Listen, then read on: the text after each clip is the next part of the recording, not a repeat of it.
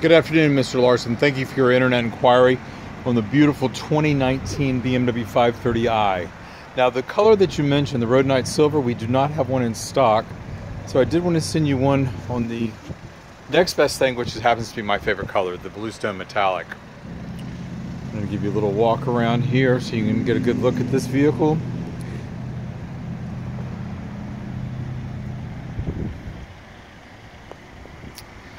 Nice thing with the comfort access, you do have the kick feature on the tailgate. Just a little kick right there. Open the trunk. You do have a 40-20-40 split folding back seat, so you can configure your passenger and cargo uh, needs as, as uh, necessary. And of course you can just another little quick kick. And I'll actually shut the trunk.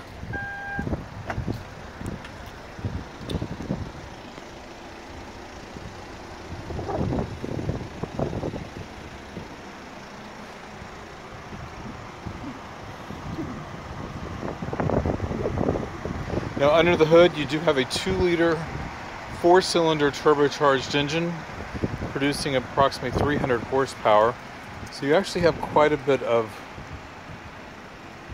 excellent performance there to move the vehicle down the road and deliver excellent gas mileage for this is rated 24 city 34 highway. Now let's take a quick look inside. Back seat, plenty of room back there for three adults. And then coming forward to the front seat. Of course, on the door, you've got your power windows, your power folding mirrors, you've got your power door locks right there. Down here, you've got your memory for your seat, mirrors, and steering column. Of course, these seats do have the, uh, these are the comfort seats. So you've got the, your normal controls, but you also have your power bolster right here on the front. You've got your power bolsters right here, plus your upper portion will move as well. Not just the back, but also the shoulder area. Now stepping into the vehicle,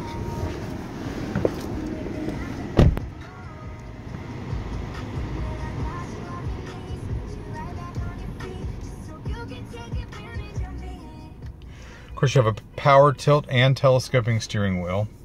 On your steering column, you've got your cruise control, You've got your radio controls and you have your Bluetooth and vocal command controls.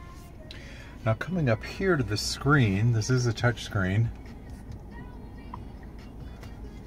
So of course you've got your radio,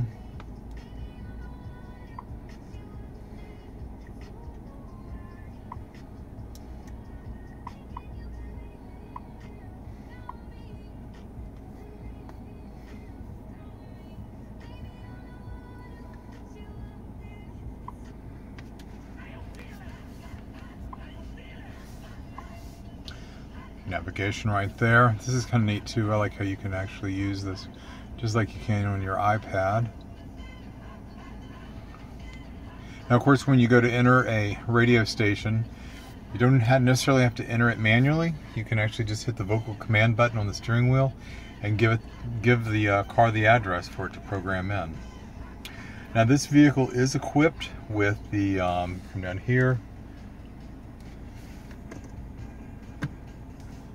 Do you have your pedestrian warning, your frontal collision warning, your lane departure warning, and your blind spot detection?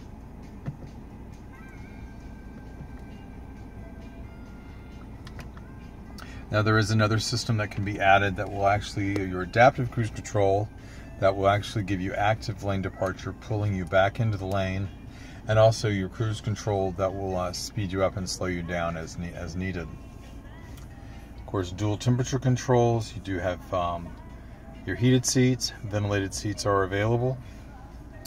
Coming a little bit further down here, of course, transmission selection. You've got your iDrive controls right here that will control everything up on the screen.